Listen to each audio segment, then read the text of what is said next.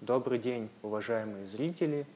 В эфире очередной блок Уральского журнала правовых исследований. Наша сегодняшняя тема будет глобальной, необычной и очень эксклюзивной, так что надеемся, что вам понравится. Гостем нашего сегодняшнего интервью стал доктор юридических наук, заведующий кафедрой финансового права УрГУ, директор Института права БРИКС Данил Владимирович Винницкий. Добрый день. Добрый Интервью день. я, Александр Козырин. И я, Лилит Мартиросян. Пожалуй, Данил Владимирович, начнем с общих вопросов. Вот, а каковы, на ваш взгляд, цели сближения правового подхода в рамках налогового права стран БРИКС? Я думаю, проблему можно понимать несколько более в широком срезе, имея в виду, что э, это часть, скажем так, общей глобальной повестки, когда различные государства, торговые экономические партнеры пытаются выработать, иметь некое общее представление о той модели регулирования отношений, особенно трансграничных, которая целесообразна э, в их случае. А в чем специфика, может быть, БРИКС? Это достаточно крупные экономики. А, понятно, есть множество форумов, где они совместно работают. Это и форум ВТО, и, естественно, такой глобальный форум, как ООН.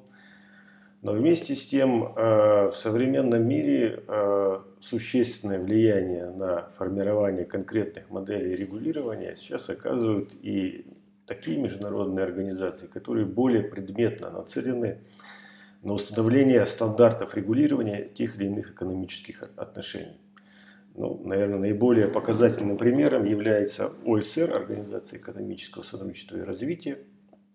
И на этапе формирования э, блока БРИКС, вот уже в организационном плане, ни одно из государств не являлось членом э, ОСР, хотя вот сейчас Бразилия уже находится таком э, завершающем режиме вступления в эту организацию. Российская Федерация в свое время подавала заявку, но все-таки э, вот данные крупнейшие экономики остались э, за рамками э, работы в, в, в контексте ОСР.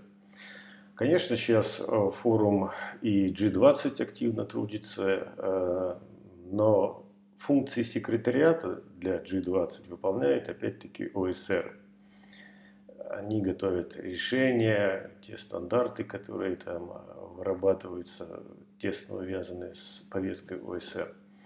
Поэтому я думаю, что, наверное, отправной точкой для работы БРИКС вот именно в таком конкретном уже ключе, интересном для юристов, было ощущение дефицита того, э, что нет такой технической составляющей, где представители крупных экономик, входящих в БРИКС, э, могли бы вырабатывать некие общие стандарты регулирования, общую позицию по Э, формированию глобальных стандартов регулирования в сфере инвестиций, решения каких-то социальных вопросов в экологии и, конечно, финансов и налогообложения.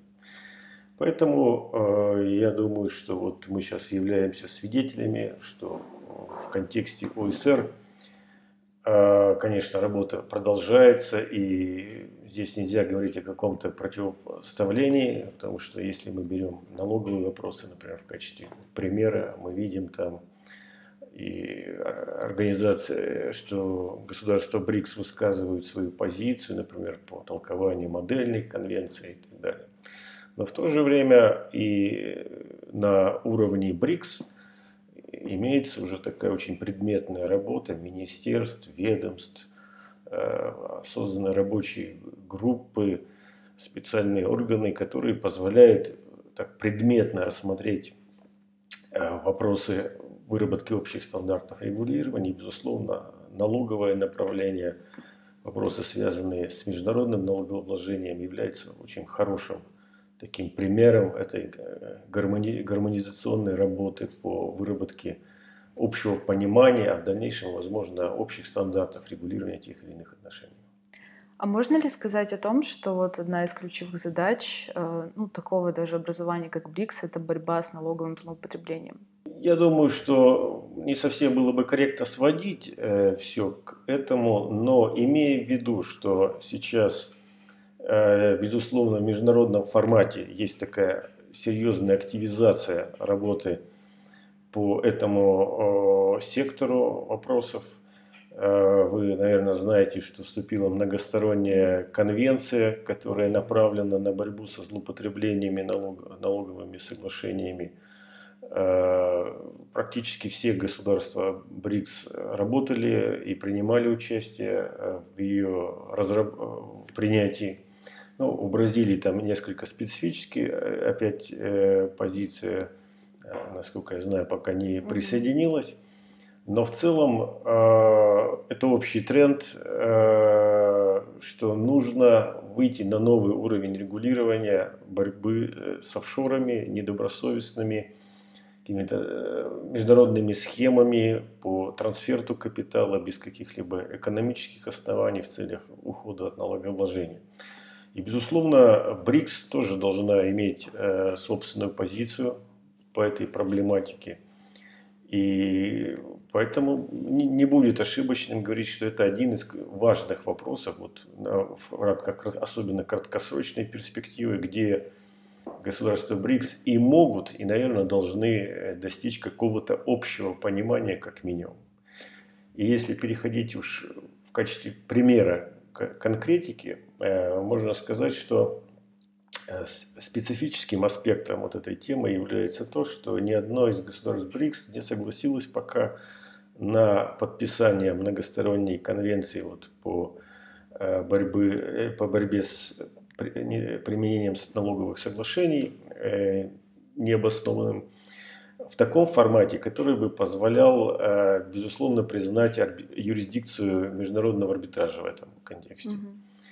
А вместе с тем споры здесь возникает и должен быть какой-то форум, э, какой-то способ решения возникающих проблем. И один из вариантов, о чем сейчас работают, думают и который прорабатывают представители государств БРИКС, это возможность усиления взаимосогласительных процедур, по крайней мере, вот в таком многостороннем формате, которые могут сгладить вот э, дефицит международного форума в виде арбитража. Угу.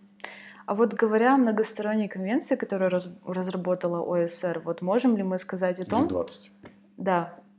А можем ли мы сказать о том, что вот как раз Например, большая разрозненность позиций государств по общим антиуклонительным нормам привела к тому, что вот решили разработать такой вот универсальный подход к ним. Все-таки, допустим, в контексте ограничения льгот, вот limitation of benefits, for, for example, хотела сказать. А вот если вот в контексте таких вот льгот.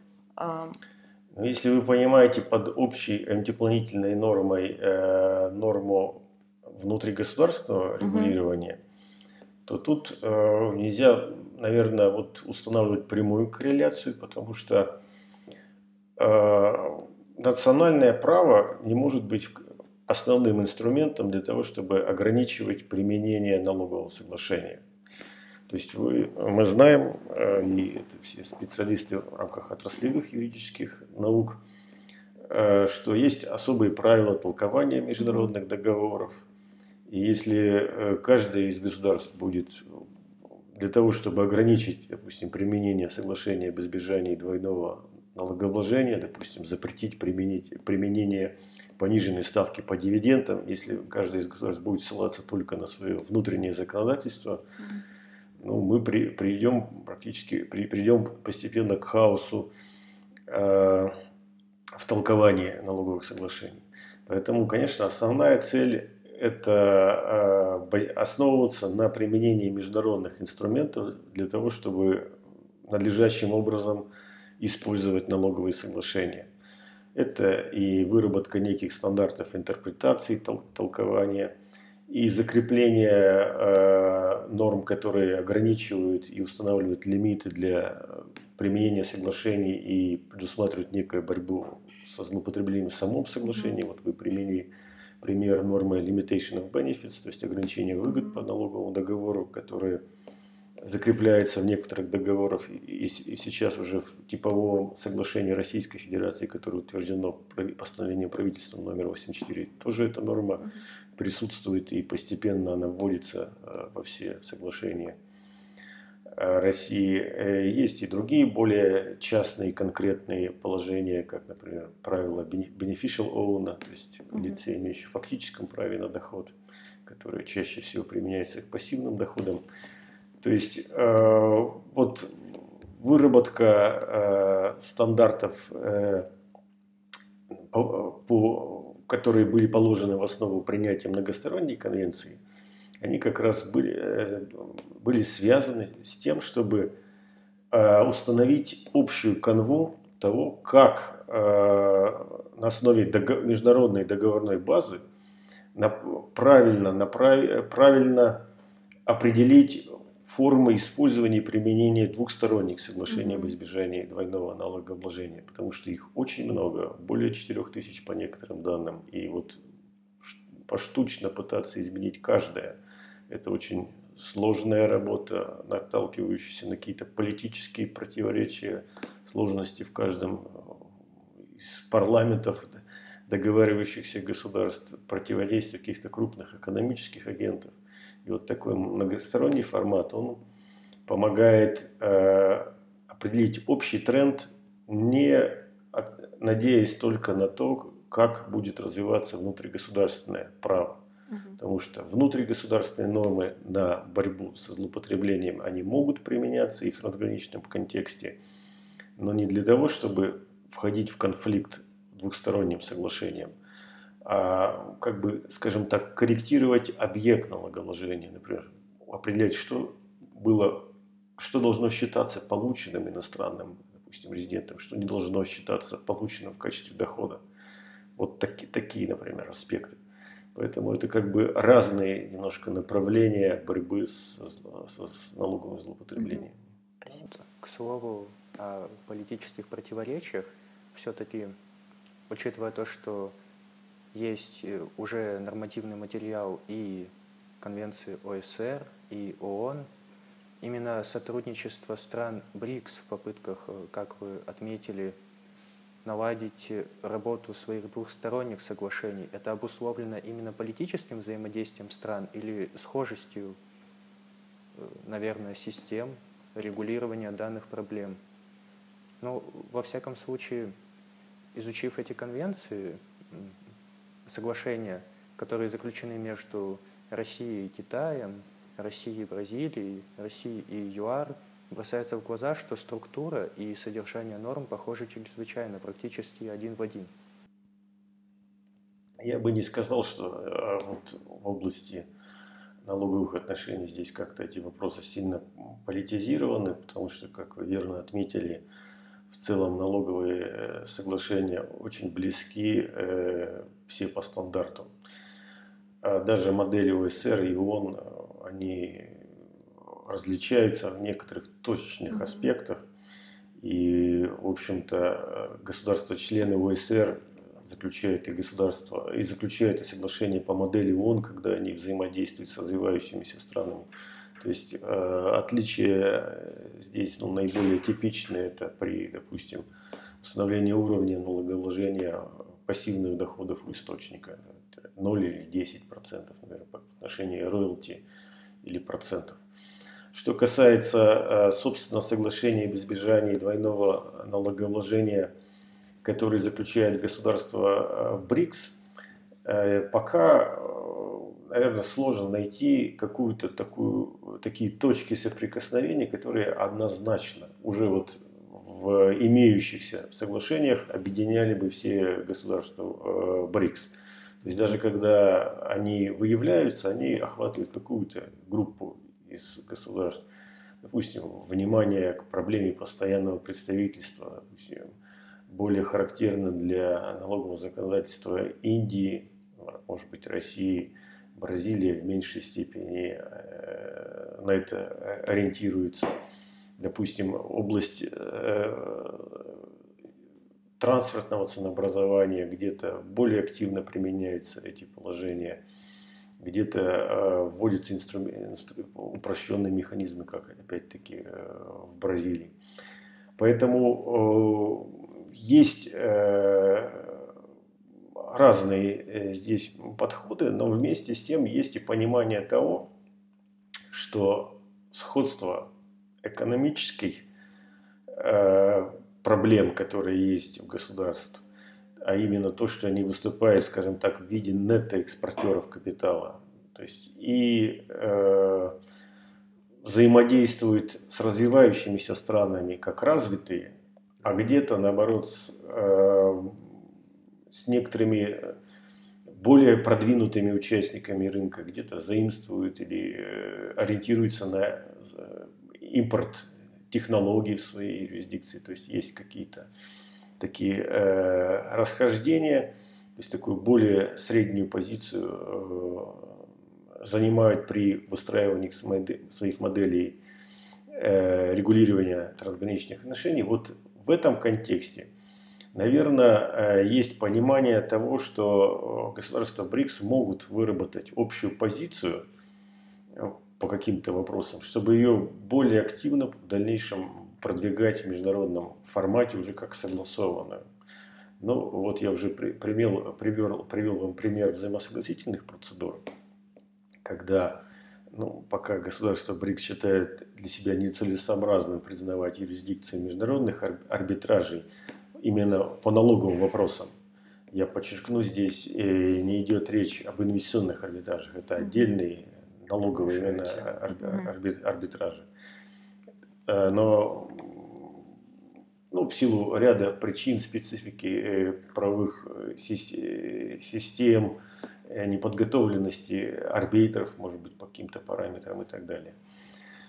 И в этом контексте вот укрепление, допустим, взаимосогласительных процедур, которые сейчас уже предусмотрены двухсторонними соглашениями, но придание им международного формата может быть интересно для государств БРИКС, по крайней мере, на прошлом правовом форуме БРИКС в ЮАР э, все представители, эксперты всех пяти государств выразили свой интерес к этой проблеме, и вот такая работа сейчас ведется.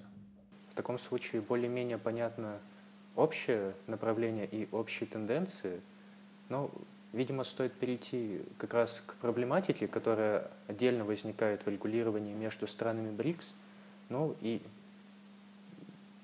самое первое, что логично приходит на ум, это антиуклонительные нормы.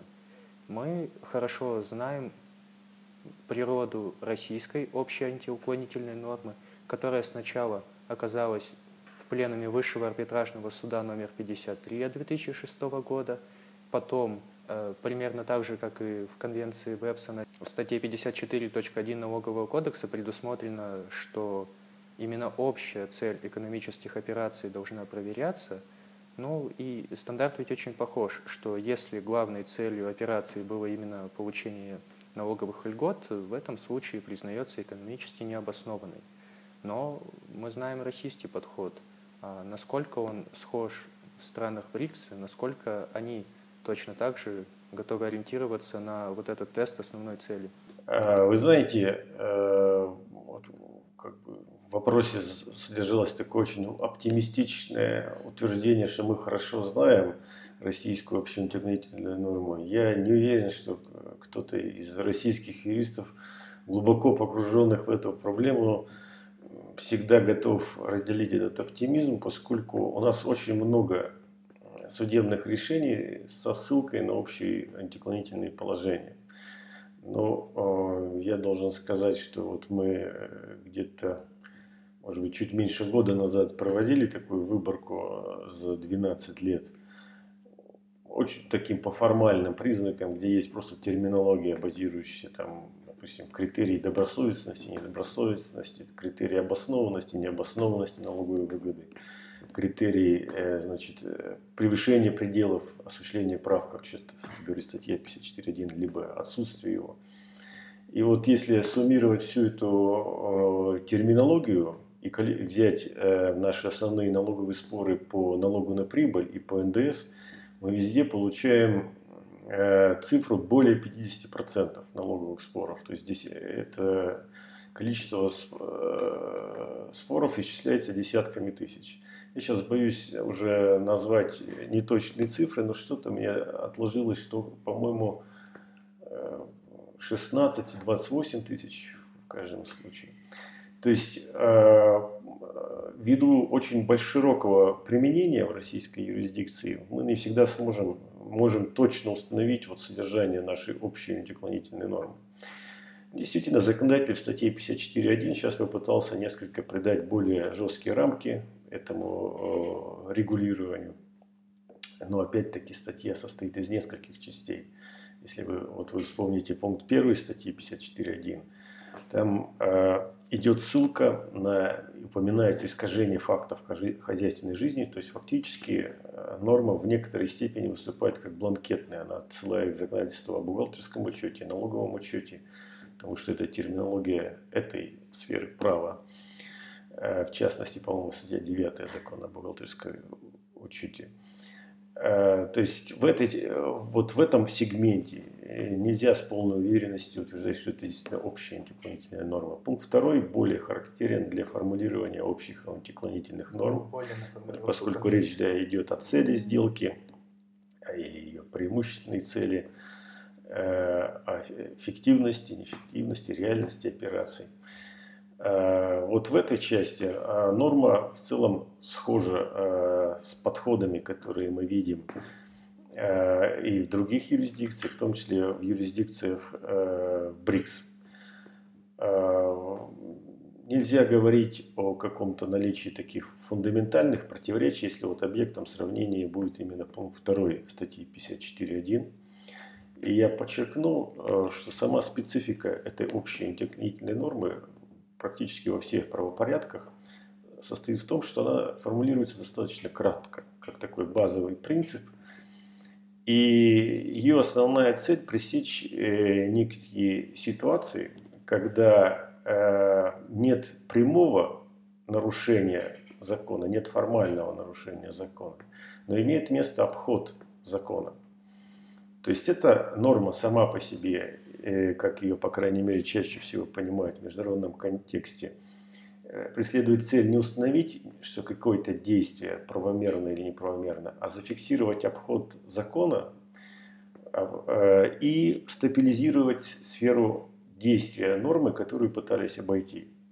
Что вы пытались обойти эту норму, нет, мы вам не даем, вернитесь назад в сферу действия этой нормы. И дальнейшем эта норма, которую пытались обойти, все-таки применяется по существу.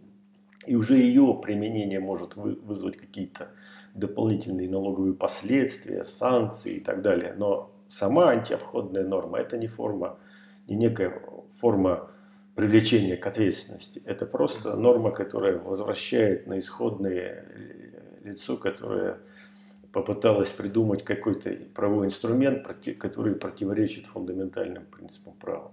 То есть это как налоговый институт доброс... принципа добросовестности?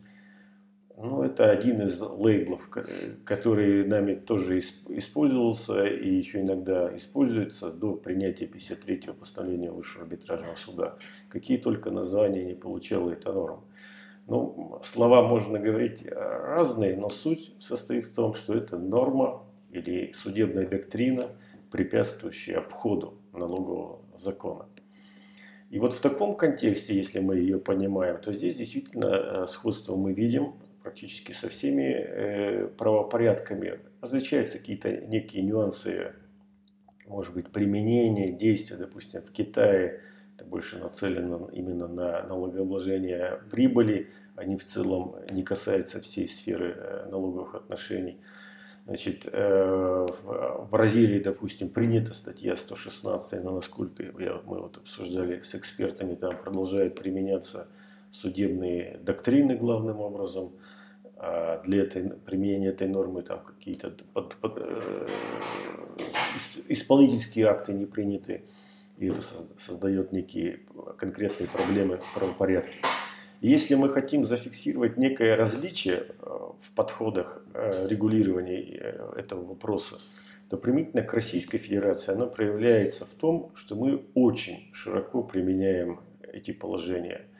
То есть ни у кого из коллег мы не могли увидеть таких впечатляющих цифр, которые исчисляются десятками тысяч судебных решений со ссылками на некую концепцию общей антипланетной нормы.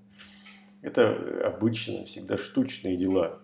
То есть, когда уже не работает правовая система, нельзя путем обычной интерпретации нормы прийти к требуемому результату, и мы чувствуем, что правовая система сотрясается, нужно вернуть ее в исходное положение. И используется вот такой экстраординарный инструмент э, налогоплательщика, нашедшего новые механизмы обхода налогового закона, возвращают в исходное положение, создают тем самым прецедент, который указывают сюда нельзя. А, вот э, в российской правовой системе несколько в большей степени увлеклась вот этим инструментом. И мы любим практически в любом сложном налоговом споре немножко отвлечься от применения закона и сказать, а давайте-ка, не проверить ли нам добросовестность налогоплательщика, не выяснить ли, не превысил ли он предел осуществления прав. Вот это э, несколько такой излишний механизм. Может быть, он и не, повлиял бы его устранение не повлияло бы кардинально на судебную практику, поскольку в принципе тех же самых выводов подчастую, очень часто можно добиться путем прямого интерпрета, прямой, прямой интерпретации нормы. Ну, например, статья 252 Налогового кодекса, которая устанавливает критерии обоснованности признания расходов понесенными и так далее. Там тоже ведь есть некие нормы, принципы, которые исповедуют э, ту же цель Э, значит, оценить реальность расходов, цель заключения сделок и так далее. Но эм, часто мы видим в правовой практике, что как бы таким э, взбадривающим соусом для того или иного дела вновь выступает ссылка на общую антиконтинентальную норму. Поэтому если вот э, в рамках российской правовой системы мы попытаемся несколько сузить сферу применения этой нормы, то мы еще в большей степени приблизимся к стандартам а, наших коллег э, в этой части, в том числе в БРИКС. Но, конечно, э, вопросы для работы здесь остаются, поскольку, как я уже упомянул, по некоторым аспектам различия есть, и они существенные. Например, э, в каких-то юрисдикциях, как в Китае, какие-то налоги высекаются, для, убираются из области действия общей дополнительной нормы есть расхождение в части соотношения общей антиклонительной нормы и специальных антиклонительных норм. Я думаю, что вы понимаете, что общая норма не должна применяться, когда есть специальная. И да. поскольку есть различия в перечне специальных антиклонительных норм, то это опять-таки влияет на сферу применения общей. Я думаю, что вот это одно из направлений работы, где государства БРИКС могут скажем так, попытаться э, некий общий стандарт, по крайней мере, методологические документы разработать. И особенно полезно их действие было бы, например, для применения во взаимных трансграничных отношениях, чтобы бизнес четко понимал, как, э, что может считаться неприемлемым, если они, допустим, работают одновременно на рынках России, Индии, России и Южной Африки, России и Китая? Представляется, что это особенно в том случае, если специальные основания будут э, действительно более четко внесены впоследствии, э, уже после того, как страны БРИКС э, придут к какому-то консенсусу в национальное законодательство, во всяком случае видно, что и экономическая роль такого содружества, как БРИКС, будет продолжаться в этом случае. Но, наверное, следует упомянуть тогда и специальные антиуклонительные нормы, особенно некоторые, которые сейчас получили очень активное развитие в нашей юрисдикции. Например, речь идет о концепции beneficial owner, которая сейчас активно закрепляется Верховным судом. Э, более того, весьма интересным представляется то, что если раньше среди арбитражных споров – судебная практика показывалась в информационных письмах, когда именно высшая судебная инстанция дает какие-то разъяснения, то в России сейчас, например, появилось в 2018 году, 28 апреля, письмо ФНС, где была обобщена практика по спорам из концепции фактического права на доход. Одно из упомянутых э, дел, известное дело общества Полусухинская шахта, когда Верховный суд – ну, фактически подтвердил подход нижестоящих инстанций, где выделил, что иностранные юридическое лицо, которое пытается воспользоваться льготой соглашения об избежании двойного налогообложения для того, чтобы признаться фактическим получателем дохода, не должно подпадать под э, критерий невозможности осуществления такой экономической деятельности, когда у него в принципе не хватило бы средств для того, чтобы приобрести долю участия или осуществлять какие-то операции, которые оно декларирует. Ну и, и второй критерий, что оно не является транзитной компанией, которая просто переводит деньги куда-то дальше. Э, в том случае были британские Виргинские острова. То есть в России судебная практика обозначивает эти критерии, а потом закрепляется вот такими вот письмами. Как обстоит подход в странах БРИКС? Близки ли мы в этой области?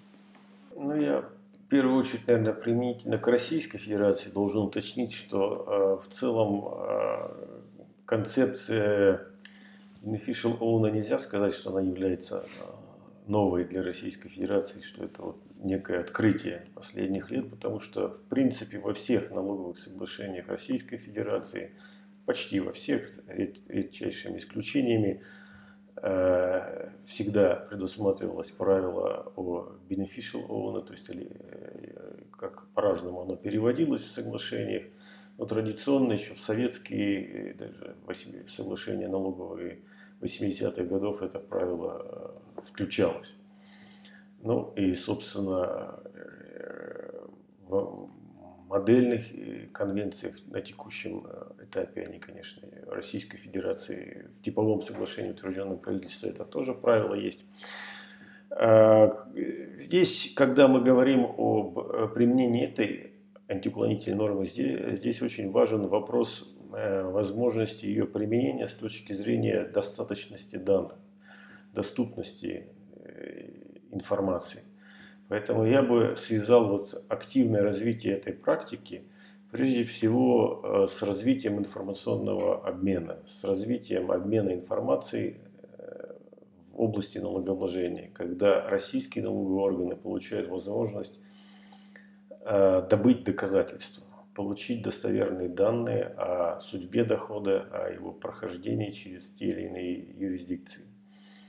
И в этом отношении э, мы отчетливо видим, что практика, в общем-то, она и есть часть ее, которая базируется на новом уже регулировании, то есть внесением изменений в статьи 7, э, в том числе налогового кодекса Российской Федерации с 2015 года, но и, и ранее э, возникшие фабулы дела, ранее имевшие место фактически обстоятельства, то есть до принятия этой нормы, тоже дела разрешаются аналогичным нормам, образом просто со ссылкой на международную договорную базу, потому что она уже сама по себе э, как бы устанавливала э, определенный запрет Э, на использование кондуитных компаний в качестве вот такого промежуточного э, звена с единственной целью получить налоговое преимущество по договору. А вот и о чем, э, если мы вернемся к сравнению российской позиции, то я думаю, что, наверное, важно выделить такую проблему, как сфера действия этого, общего, этого, этой специальной э, положения, которое содержится э, обычно в статьях 10, 11, 12 соглашения об избежании двойного налогообложения, то есть касается э, дивидендов, процентов, роялти.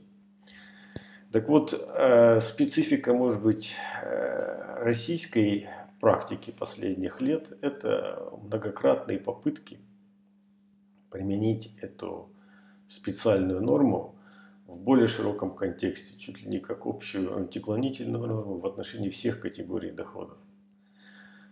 А, вот это смешение, наверное, оно не характерно для большинства э, юрисдикций, в том числе для государств БРИКС. Потому что вот мы начали с вами разговор, что есть э, общая норма, которая ограничивает применение налогового соглашения. Это допустим, limitation of benefits, есть, э, об ограничении выгод по договору. Наконец, надо отметить, что статью первую соглашения о сфере действия конвенции, что она распространяется, допустим, на резидентов договаривающихся государств, тоже традиционно в соответствии с комментарием толковали так, что э, из самого текста имманентно вытекает запрет использования налогового соглашения в злоупотребительных целях или unproper use of tax treaty, ненадлежащее использование налогового договора признается недопустимым из самого его смысла. И в этом контексте не, не, э, нет необходимости вот смешивать эти общие посылы антиуклонительные и общие инструменты с конкретной специальной нормой, которая должна распространяться только на проценты, дивиденды и роялти, как разновидности пассивных доходов. Потому что там есть некий специфический юридический инструментарий, который требует э, оценивать э, законность избранной э, схемы. Э, в частности, в первую очередь оценивается не статус налогоплательщика вот вообще, безотносительно каким-то конкретным операциям, а имеет значение, имела ли компания, получающая пассивный доход, такие полномочия, которые позволяли бы ей самостоятельно им распорядиться.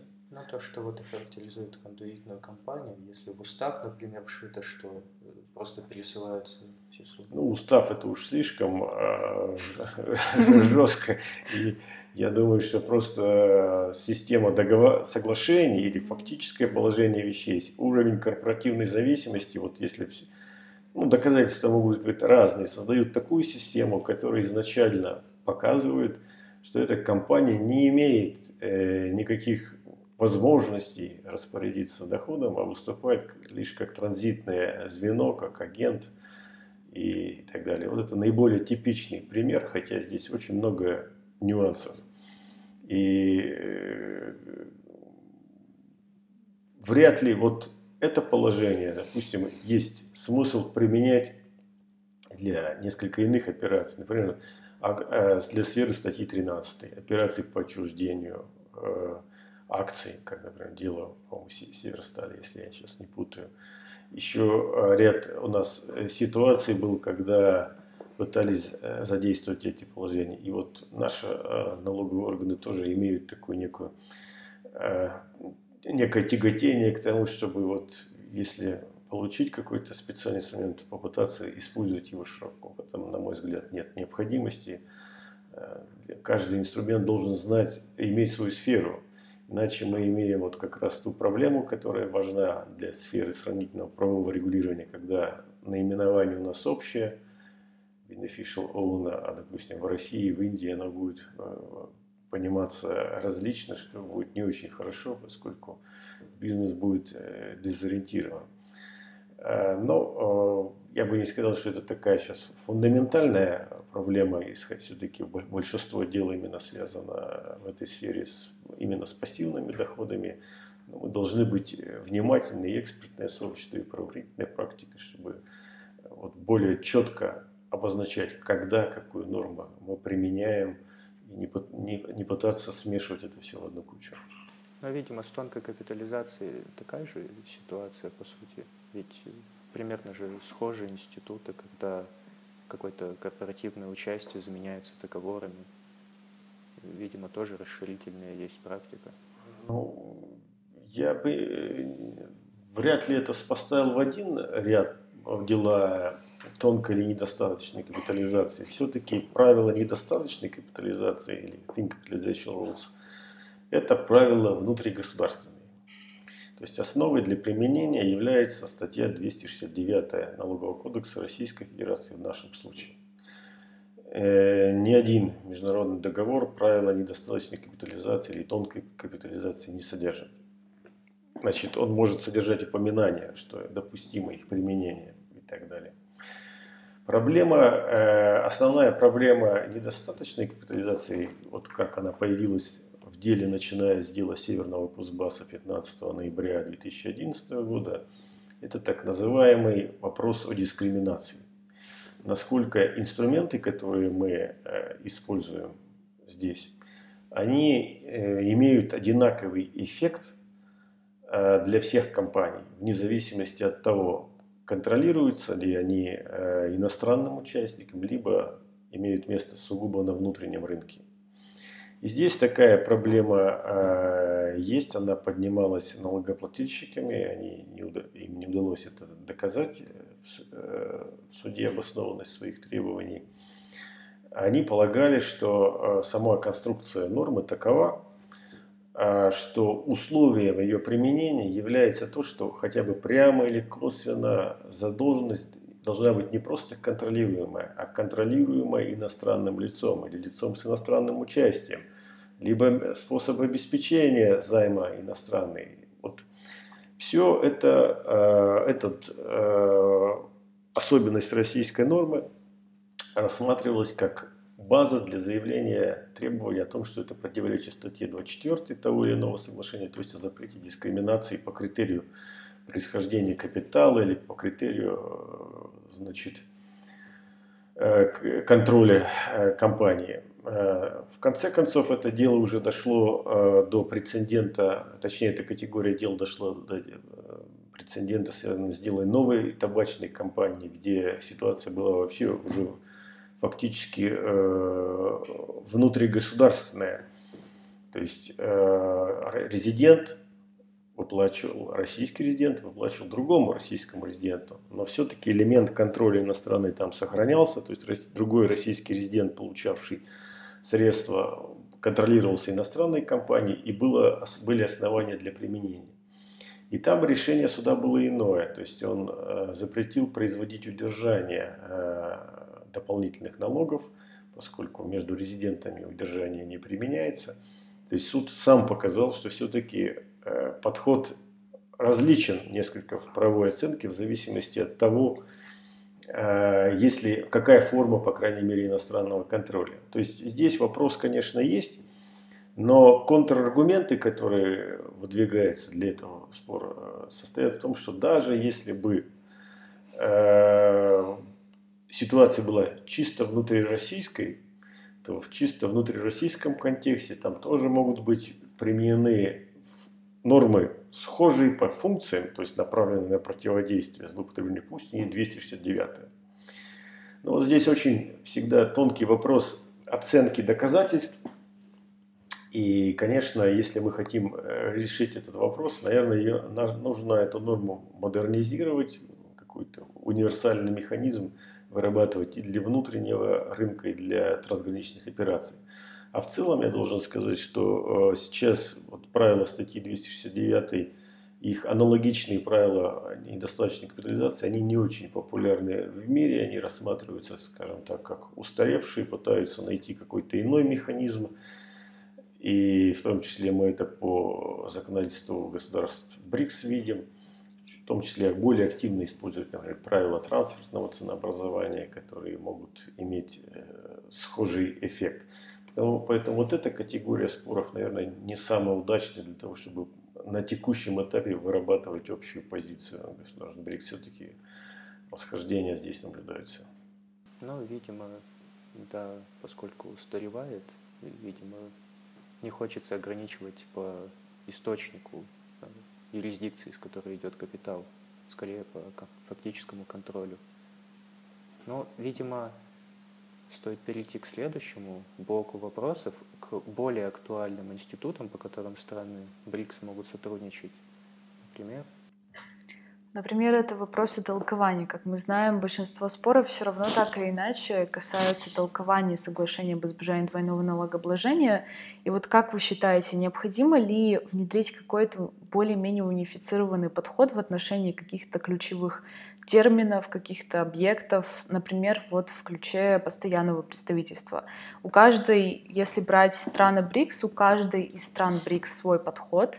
То есть у нас вот э, закреплено в статье 306, что является постоянным представительством, но при этом, конечно же, сейчас а, могут суды при толковании отходить немножко от формата статьи 36 и учитывать какие-то фактические обстоятельства дела, как это было, например, сделано в 2015 году в деле по Арифлейму, в рамках которого э, компания, зарегистрированная в Российской Федерации, была признана постоянным представительством шведской компании. То есть вот как вы считаете, необходимо ли унифицировать подход в толковании, чтобы, во-первых, и э, споров было меньше, и все-таки подход для бизнеса был более единообразным? Но если мы в целом э, э, начинаем с того, что ставим э, вопрос о правилах толкования международных договоров, потому что соглашение об избежании двойного налогообложения это все-таки по природе просто международный договор, то, в общем-то, я думаю, что человечество последние 2000 лет этим занимается, и последние десятилетия этим занимается с момента, в том числе, выработки Э, соглашение об э, Венской конвенции о праве международных договоров. Там, конечно, есть общие подходы к толкованию. Все государства БРИКС в той или иной степени применяют эту конвенцию. Поэтому на, фундамент, на фундаментальном уровне, уровне безусловно, специалисты по международному публичному праву этим э, занимаются. И, в общем-то, без э, помощи э, отраслевых специалистов я думаю, может быть, с какими-то базовыми вопросами будут справляться и, и дальше.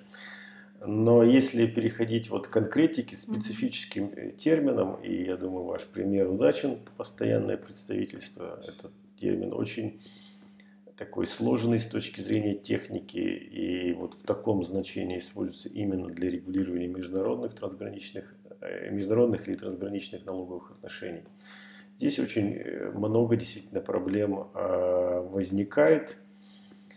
Э, я бы не стал э, вот, начинать обсуждение этого вопроса со статьи 306 Налогового кодекса Российской Федерации, mm-hmm. потому что, в принципе, а, если государство связывает двухстороннее соглашение об избежании двойного налогообложения, для них решающее значение имеет текст, э, текст соглашения, потому mm-hmm. что там в статье 5 всегда содержится определение э, постоянного представительства.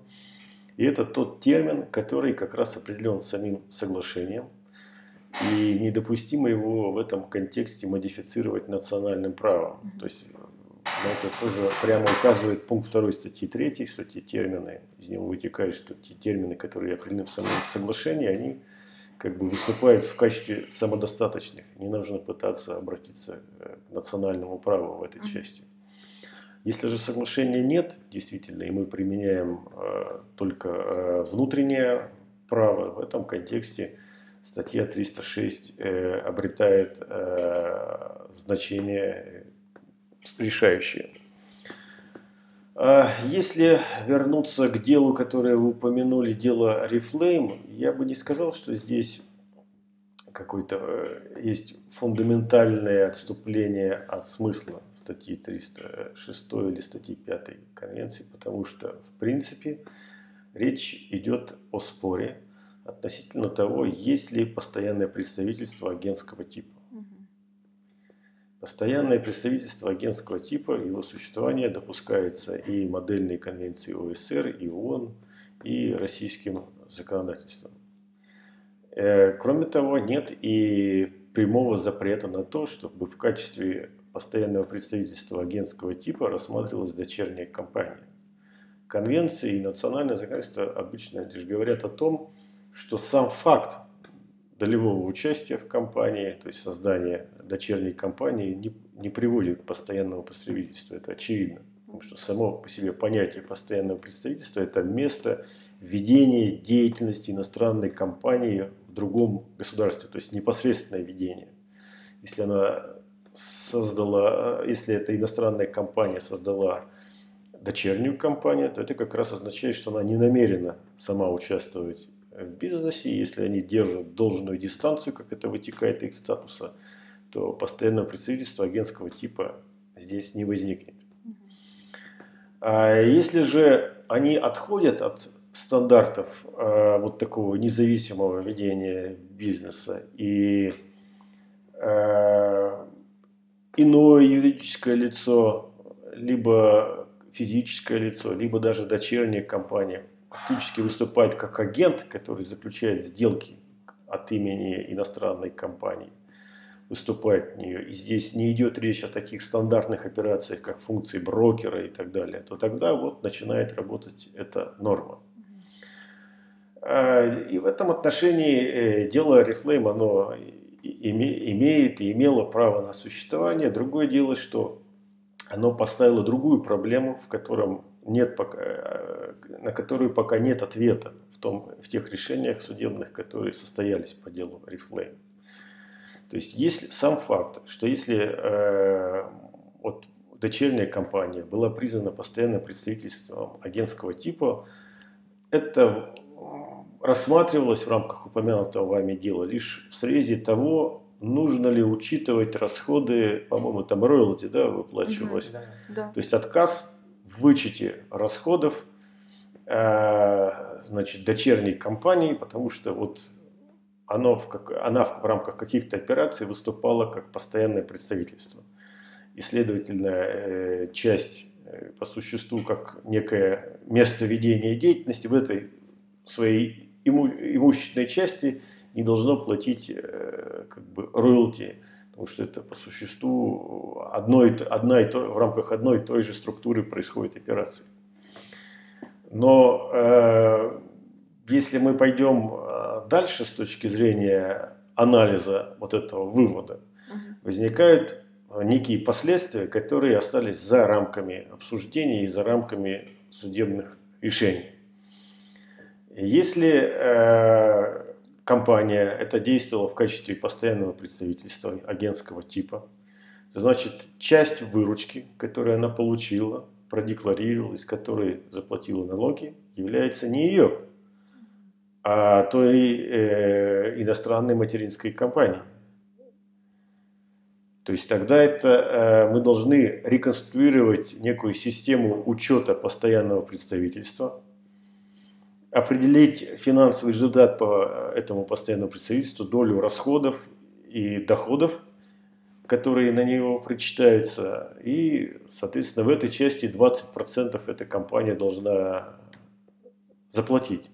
Кроме того, у постоянного представительства могут быть тоже расходы, в том числе и на оплату там, товарного знака или там, за что они там платили своей материнской компании.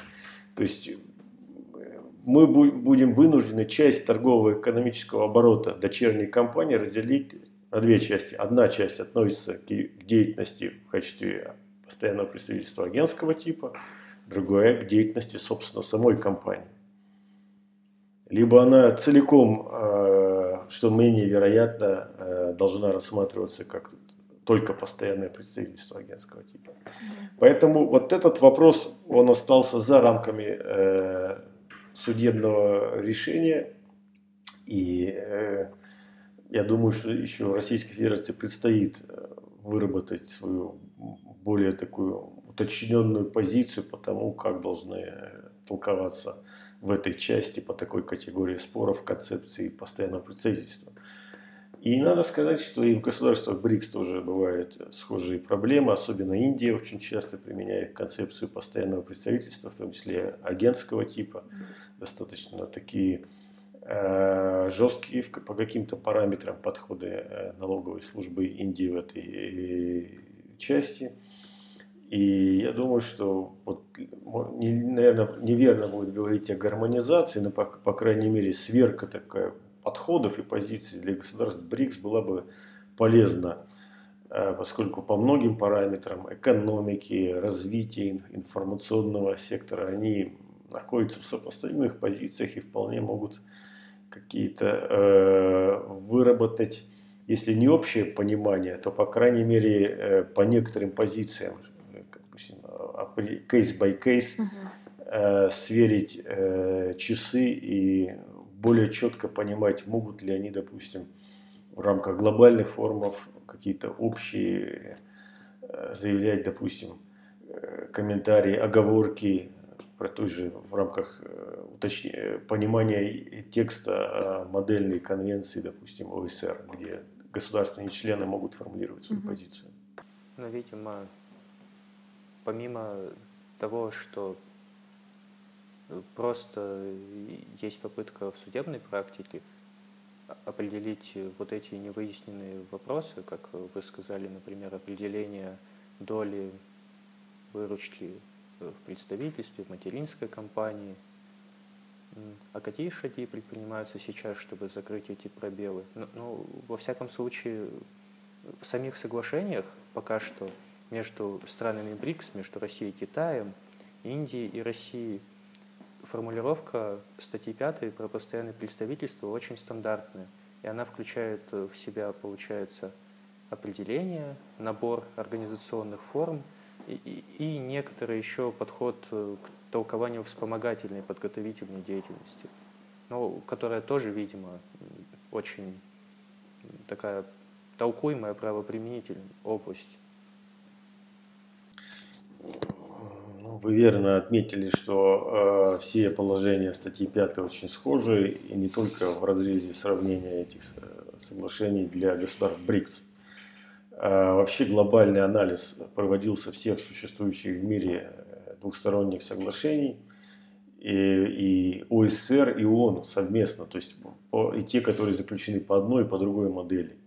И общий вывод э, вот таких глобальных структур там, информационных, которые обобщают практику по их применению, например, IBUD, состоит в том, что до 90% текста всех двухсторонних налоговых соглашений, существующих в мире, даже несмотря на то, что некоторые из них заключены достаточно давно, совпадают. Э, и это хорошо, это значит о том, что все-таки, несмотря на то, что формат развития э, международного налогообложения выработан таким образом, что нет какой-то единой Э, единого многостороннего договора глобального, который бы регулировал устранение двойного налогообложения, есть масса двухсторонних, но фактически вот в совокупности с комментарием они работают как некая согласованная система. Расхождения есть, но они не, э, не критичны для того, чтобы мы понимали существующие правила международного налогообложения. Статья 5 тоже хороший пример, там а, расхождение, как, как обычно, э, ну, не проявляется столь э, значительно, в том числе в российских всех соглашениях, БРИКС сходство существенно. А какие бывают расхождения? Ну, часто, допустим, по, э, при установлении случаев, когда возникает постоянное представительство при оказании услуг. Модель ООН это допускает, ОСР, ОСР некоторые редакции исключали этот вариант. И в двусторонней э, контексте тоже мы видим различные какие-то формулировки. Допустим, соглашение с Кипром там предусматривается, в каких-то других соглашениях Российской Федерации не предусматривается возникновение постоянных представительств при оказании услуг есть какие-то уточнения, когда там особо оговаривается при осуществлении например, страховой деятельности, услуг в сфере страховой деятельности. Вот такие э, моменты есть. А что касается самого субстанциального понимания, что есть постоянное представительство, что есть подготовительная и вспомогательная деятельность, что есть постоянное представительство агентского типа. Как правило, э, налоговые соглашения в этой части едины. И с другой стороны, вряд ли можно ожидать, что мы когда-то увидим какую-то э, детализацию там, до самых крайних степеней с описанием фактов, и что это будет э, содержаться в самом соглашении.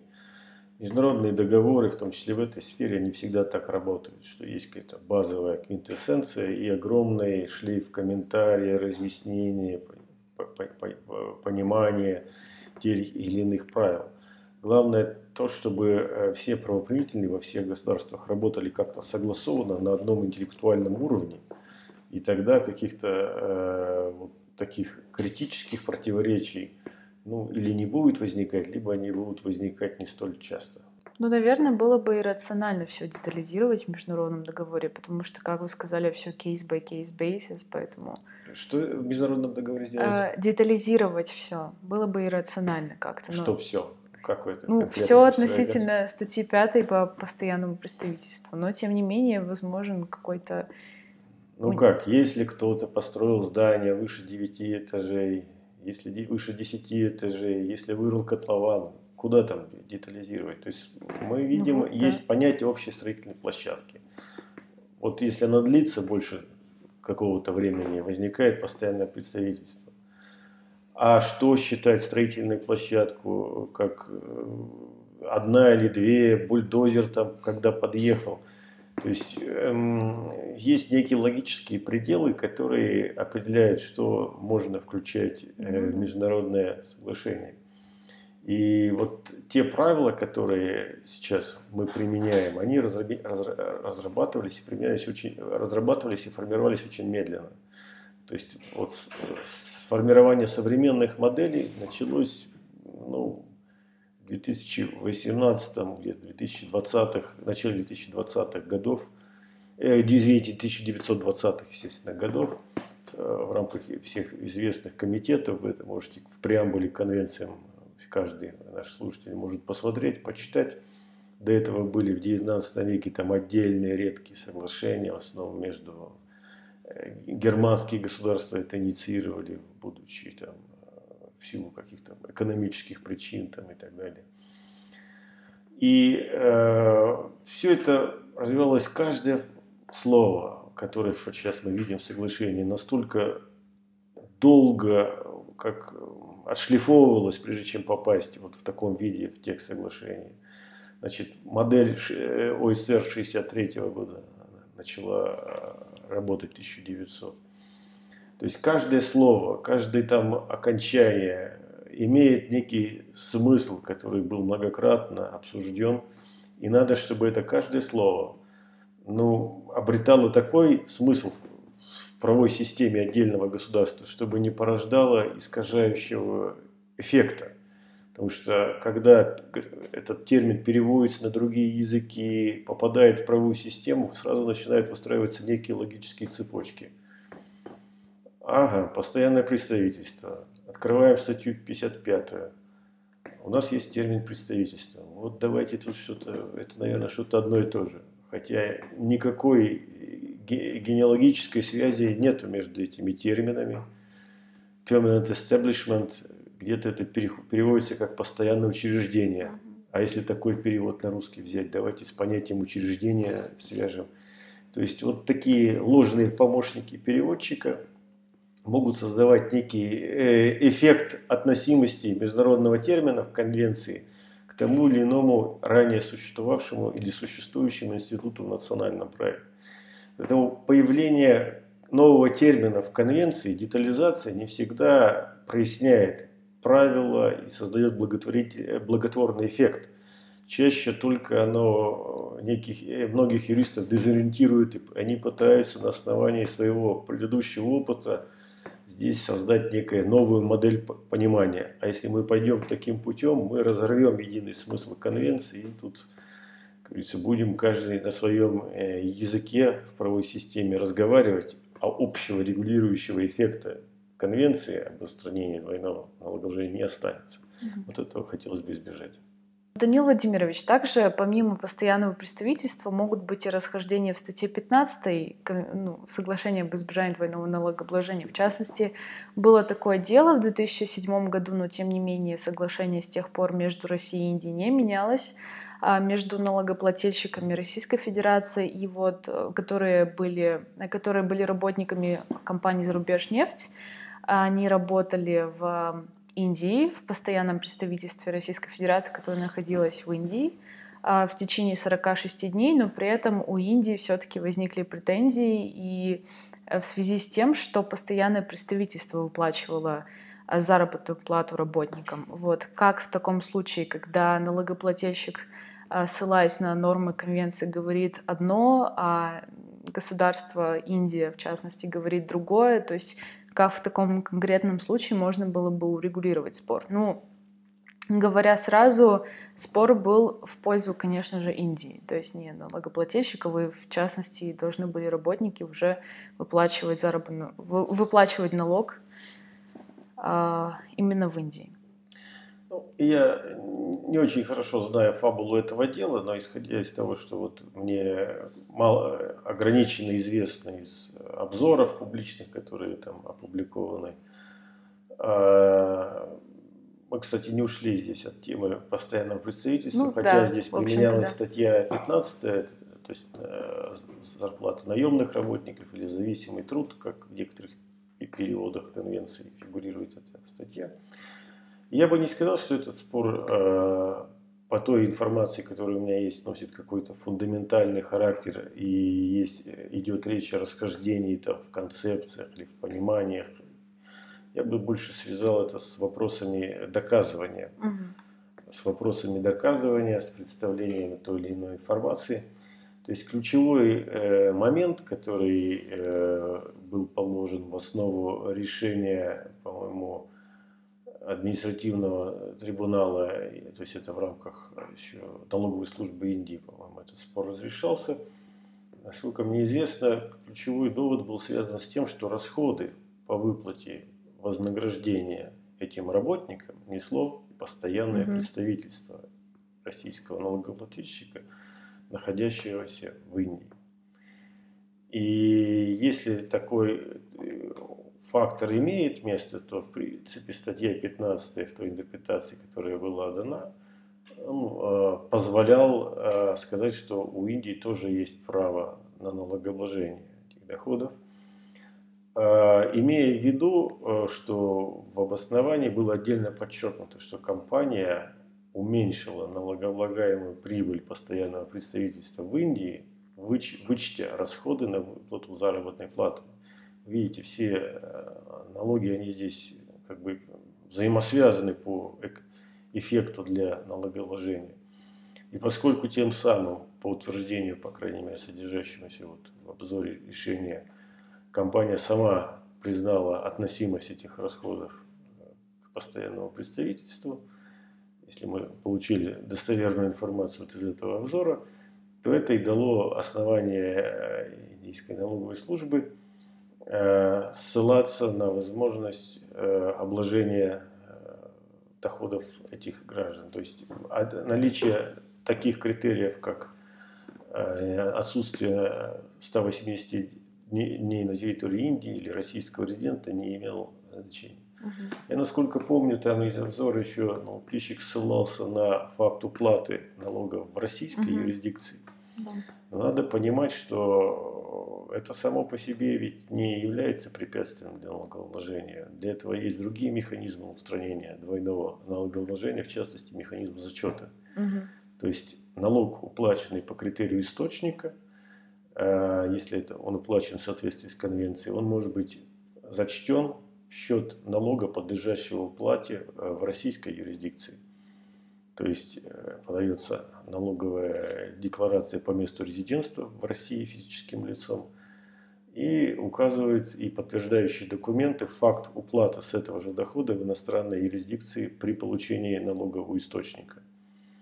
И э, как бы, если там ставка выше и уплачена больше, чем подлежит уплате в России, естественно, ничего не будет компенсироваться и возмещаться из бюджета. Но вместе с тем иностранный налог может быть зачтен в счет уплаты Мгм. российского. Поэтому вот в этом, разре- в этом э, разрезе есть способ решения подобных ситуаций. А если там были какие-то факторы, которых нам неизвестны и которые могли бы иначе это дело повернуть, то в принципе у налогоплательщика была такая еще возможность, как инициировать взаимосогласительную процедуру, Мгм. когда бы налоговые органы России и Индии попытались бы выработать единую интерпретацию налоговой э, конвенции. Но Мгм. для этого надо, наверное, знать большие детали дела, чтобы делать вывод о наличии оснований для этого. Наверное, следует перейти больше к процедурным, процессуальным вопросам.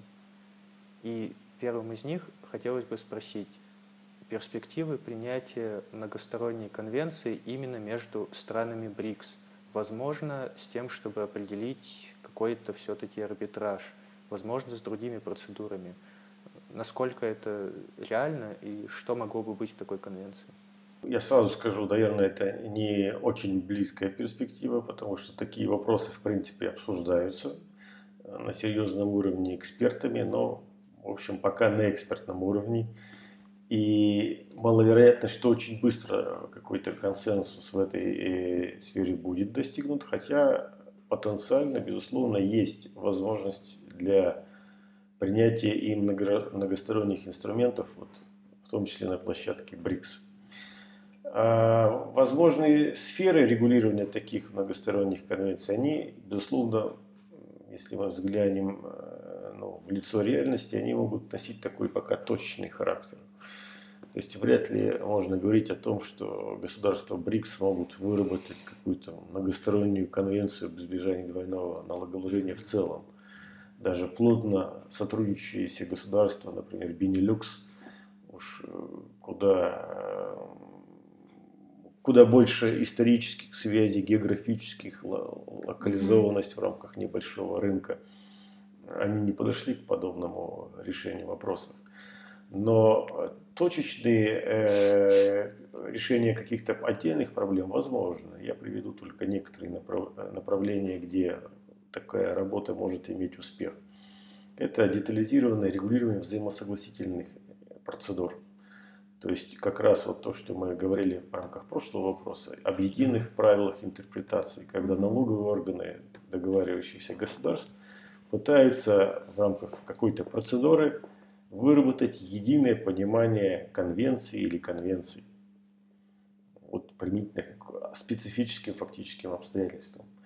Второе направление – это, опять-таки, э, вопросы устранения э, двойного налогообложения через освобождение. Например, отдельных видов доходов, допустим, для малого бизнеса ниже какого-то предела, когда, в общем-то, стоимость администрирования этих расходов, вот мы на э, площадке экспертов БРИКС обсуждали там, допустим, там, предел 200 тысяч долларов, то есть где сумма инвестиций незначительна, а механизм зачета, э, заверения каких-то данных относительно фактов уплаченных налог, налогов э, настолько может задерживать механизм устранения двойного налогообложения, что порождать некие препятствия, неприемлемые издержки для малого и среднего бизнеса. И вот э, в этой части была разработана одна из модельных э, конвенций, которая бы позволяла для некоторых видов операций на многосторонней основе устранять, устранять двойное налогообложение путем освобождения. Просто не зачета, как вот мы до этого описывали, а освобождение.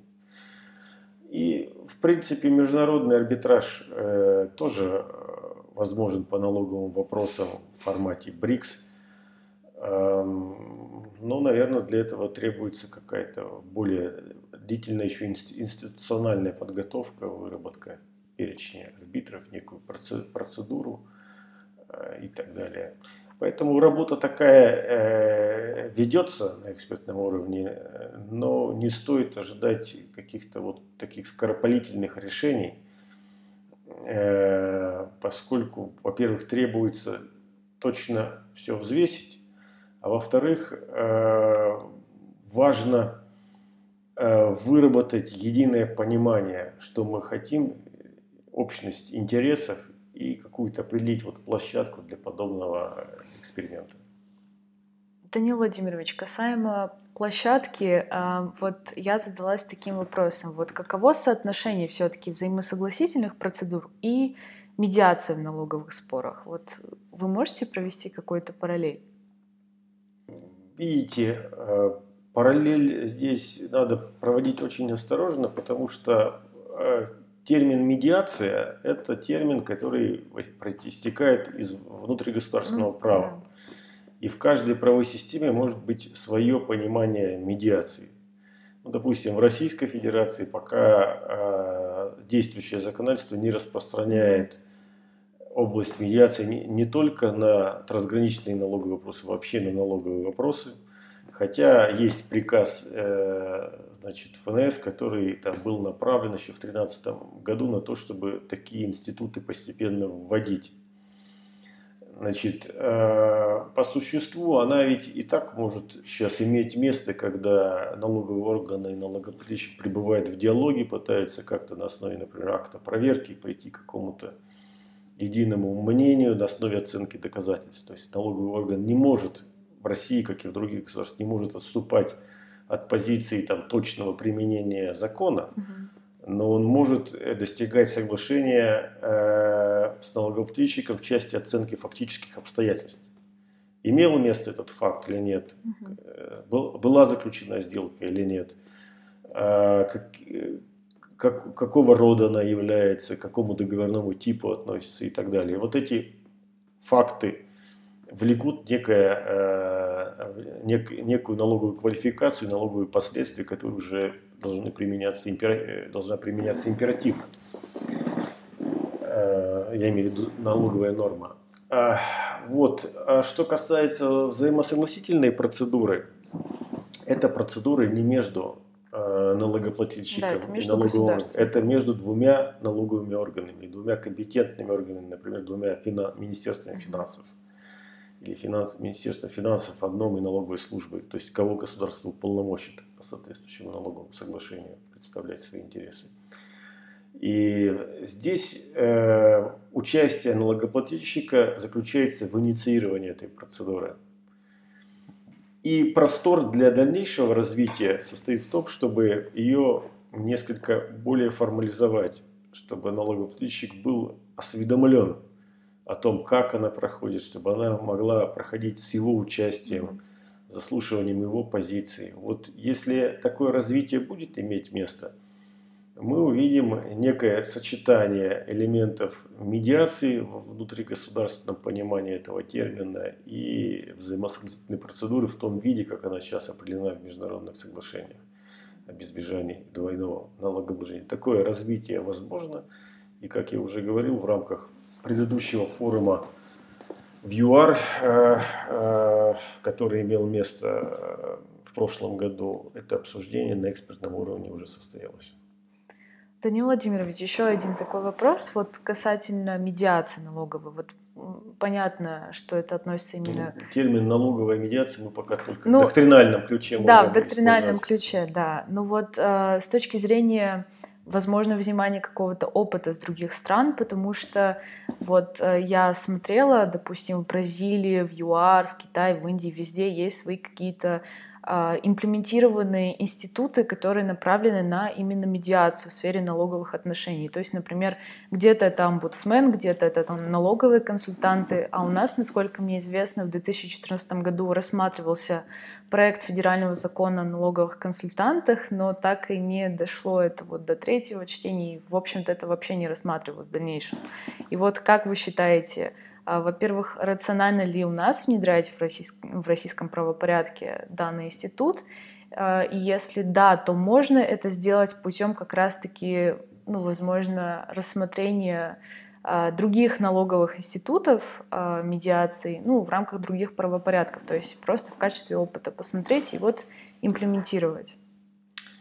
Ну, изучать э, иностранный опыт всегда полезно, если он относим э, нашим реалиям, но я бы не сказал, что в Российской Федерации де-факто нет механизмов, которые могут быть сопоставлены с медиативными. Например, наш, наш порядок э, рассмотрения акта налоговой проверки, когда он проходит с участием налогоплательщика. То есть э, можно критически высказываться относительно его эффективности и оценивать, насколько там вообще стороны находятся в диалоге, и, ну, и здесь резерв для укрепления, то есть какая-то формализация процедуры, формализация в хорошем смысле этого слова, когда она будет более детально прописываться. прописываться.